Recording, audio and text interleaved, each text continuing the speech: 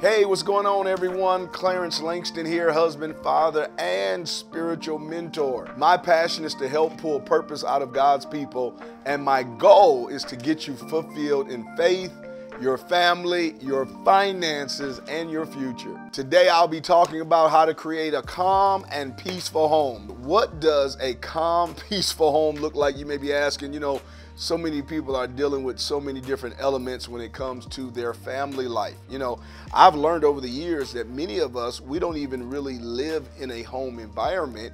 We kind of self exist in a house, a place that has a four walls, a roof, a front door, and a back door, and some windows, and we all kind of just kind of reside there. But a home is a place where, man, there's family activity, there's warmth, there's love, um, there's um, friendly environment, support system.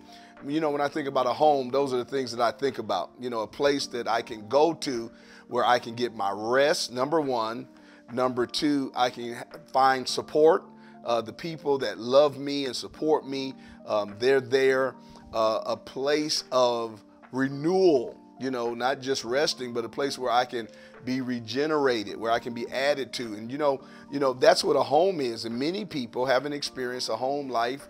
They don't even know how to build or establish a home life. And that was one of the things for me. You know, I thank God uh, for my mom. I grew up in a single uh, home with uh, my mom and uh, my uncles uh, from time to time would be there but we had an environment where I believe we were kind of, you know, surviving, you know, uh, for two years we're living in one space and place. Another three years later we could be staying somewhere else and meeting new friends in that community and then moving again. So there was really no stability. And i know some of you can relate to it. Some of you may be able to say hey i lived in the same house for 20 years but it was still a house. There was no warmth there. There was no environment for my growth. It wasn't real support. Um, it wasn't a loving atmosphere but it was a place um, that we all grew up in. My parents were there, um, but I didn't realize how much I did not have um, that peace or that love or that support. You know, when I think about a home and I think about family, you know, I can't think about family without thinking about home. And I don't think about home without thinking about family. And I'm not just using that word family uh, as a general statement of facts. You know, all of us come from a family, all of us have family. And when I say that word family, some of you think, man, man, I had a bad situation with my family. I had a good situation uh, with my family, but I didn't have a support system with my family. We have different experience and backgrounds um, when it comes to the word family. But as we really target, you know, um, this this space, this environment um, that I believe that God created when He created family, um, that place that we call home. What does that look like for you? What, what is that like uh, for you? What has that been like? And where would you like to be now um, as you are, have learned over the years that you haven't always felt the support or the quality of love or that environment um, that would have been conducive for your growth uh, to allow you to have a space to grow in to be able to be all that God has purposed for you to be. How to create a calm and peaceful home. How do I do that?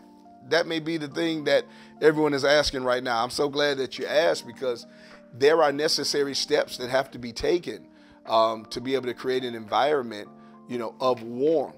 So the first thing you want to do is create a calming atmosphere. What does that consist of? What does that look like?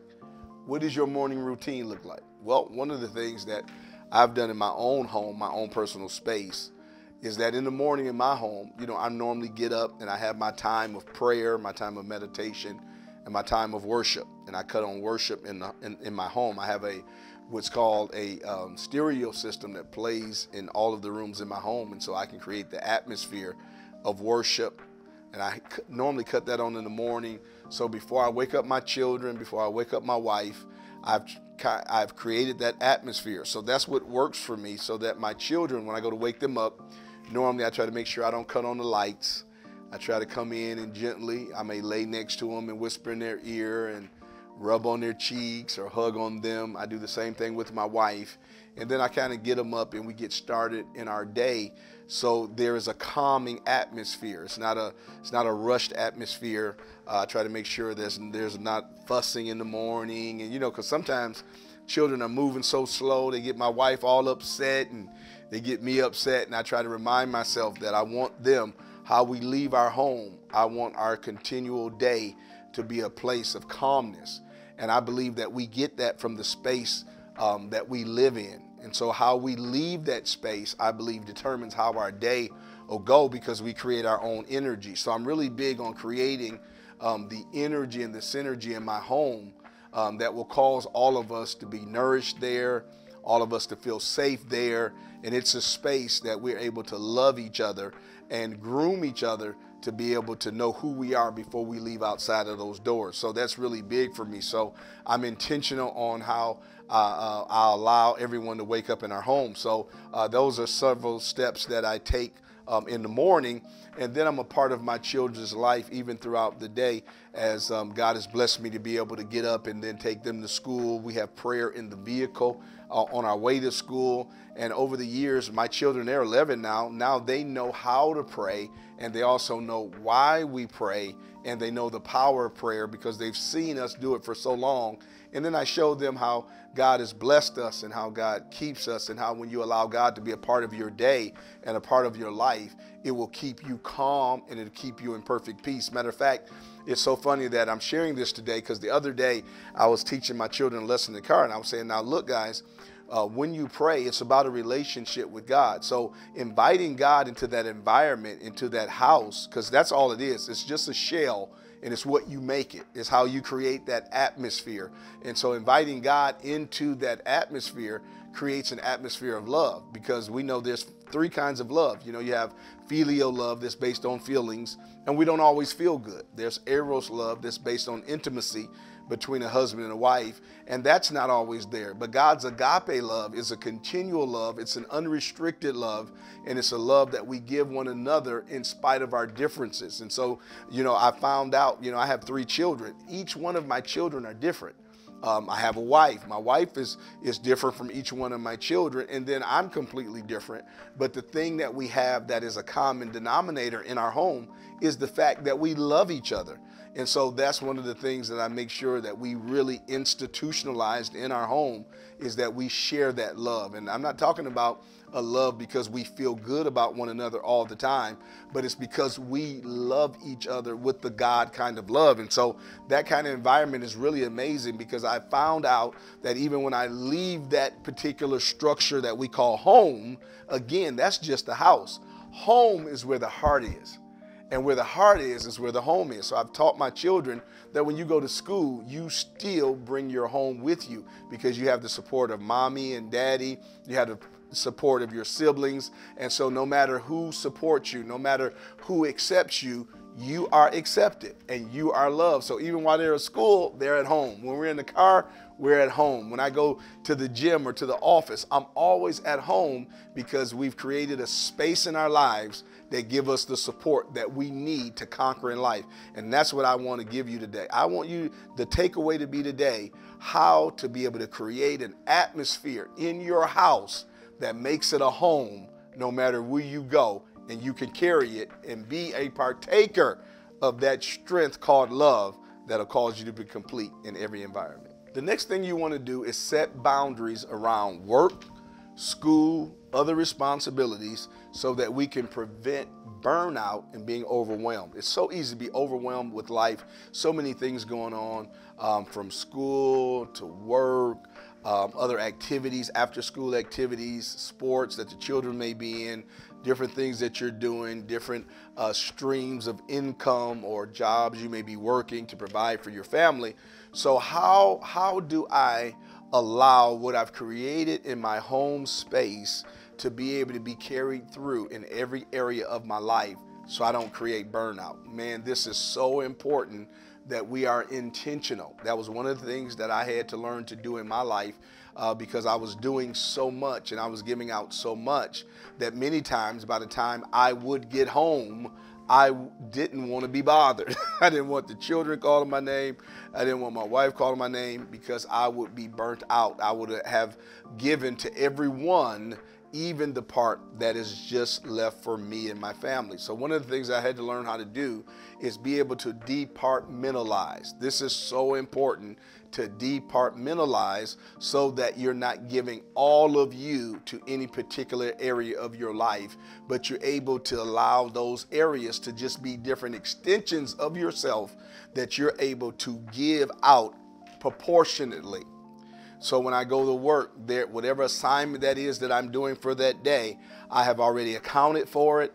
I've already allowed the time and the space that I'm going to need to be able to do that. And when I do it, I do it with the expectation that that particular area is now taken care of without me overextending myself from taking from my relationship with my wife or overextending myself, taking my relationship away from my children. So it, it, you have to really be intentional and have targeted goals and be able to target your day, be able to target your week, and be intentional. When you're intentional, it becomes much easier than it sounds right now. So I don't want you to be overwhelmed with what I'm sharing, but it is important that you hear because if you don't hear, then you won't know to do. But now that you're hearing, you'll know to do. And by the time we get through today, the takeaway you will be able to go and actually execute in your own personal life.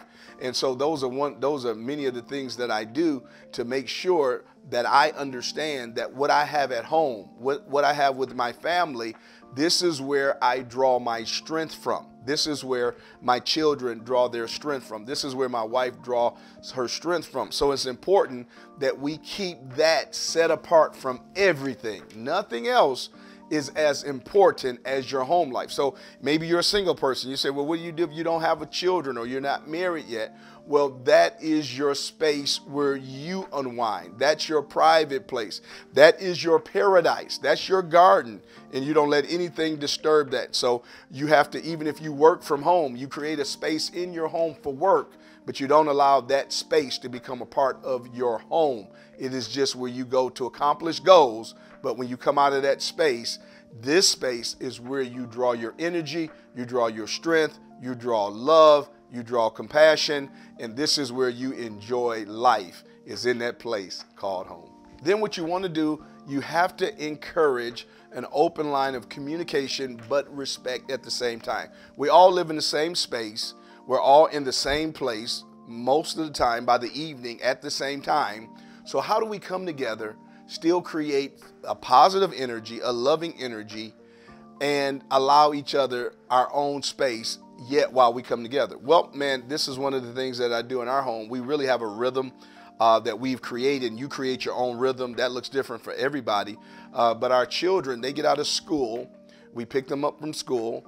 Uh, we're always interested in their day. So by the time they walk out of school, I make it my business to the best of my ability. Now, sometimes I've, I have not always kept this rule, but for the majority, I do.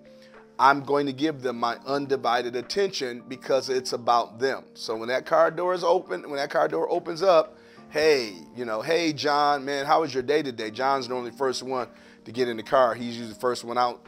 And uh, hey, John, how was your day today, man? Did anything interesting happen? I'm, I'm starting a dialogue. I'm starting a dialogue. I want to hear what's in their mind, what's in their heart. Hey, my other son gets in the car. Hey, Josh, how was your day?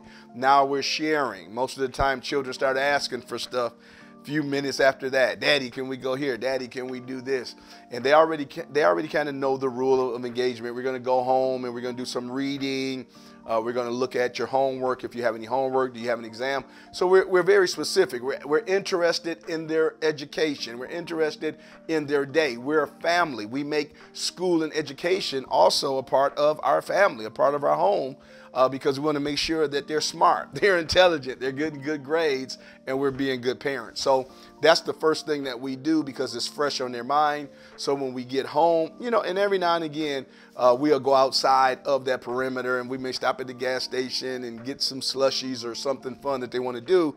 But they know even after we do that, we still have a rhythm. So we normally we go home and they may grab a snack and then we'll get to that homework so we can just get it done. And then they'll go in their own space. They may go get on the computer, play some video games. Uh, one may be over in the corner on TikTok. He's in his space. Uh, my, my other son is in his space. Uh, I told you my daughter, she's away at school, so she's not there right now. Um, me and me and my wife, either we're together talking or we're in our own space. But at dinner time, we all come together. We don't eat dinner and you know, one is in this room eating and another one is in their bedroom eating.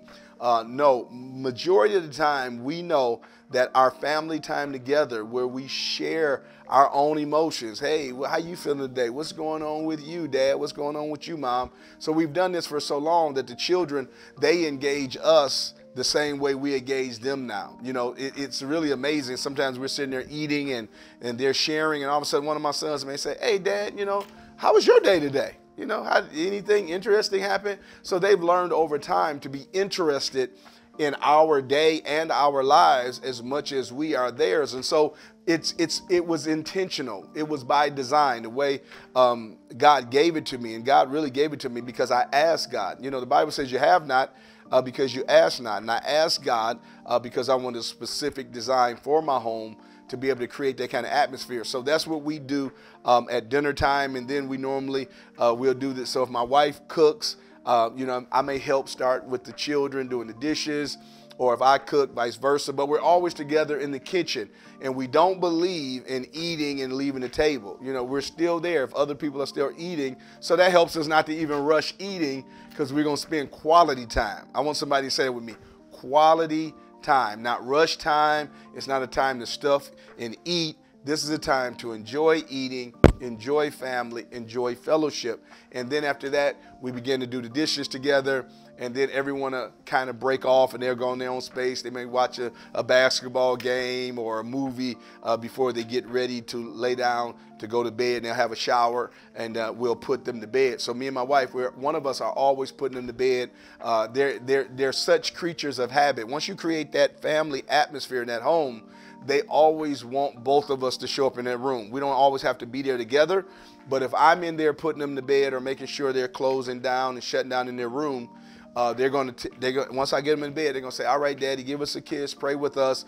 Can you go get tell Mommy we want to see her come give us a good night kiss?" So there's a rhythm. So you have to. It's an, an intentional rhythm. And one of the things I miss saying is one of the other parts of our day when I wake them up after they uh, get dressed in the morning and brush their teeth. They never leave their bedroom without making up their bed. So you never want to create a mess in your space that you have to come back to that's not in order. So that's one of the things we all do in my home. When we leave our space, it's made up. So when we come back home, it's a space that we can enjoy. So, um, man, those are just some of the, the key nuggets that we do and that we implement in our home from family time to how we treat one another, how we respect the space that we're in. But again, teaching that self-worth is everything. You have to teach it to your children, but you have to have it for yourself and you also have to have it for your mate because with the family, there's so much pull from each person, it's easy for somebody to get missed and no one, no two people are the same. So creating family atmosphere, having that home and paying close attention and giving attention to one another, it's everything. And once you do that, you're going to always be consumed with one another. You can't wait to see one another. You can't wait back to get, uh, uh, wait to get back to each other because there's nothing like that home life at home. These are the steps of creating a calm and peaceful home. Man, how many of us want a calm and peaceful home? Sometimes we're so used of the erraticalness of life that we bring it into our own space and we don't realize we don't have a space of peace. Some people try to travel the world to find it, they go on vacation to find it. But the truth is, if you don't have it at home in your heart, if you don't have it in the space that you live in, nine times out of 10, you won't carry it with you, so you won't be able to bring it back with you because there's nothing there in you. Home is not just a house or a building or space that we're in, but home is a space that we share with ourselves, with God, and the people that we love to create a synergy and an energy of warmth that causes all of us to be strong enough to endure any and everything that life may brings.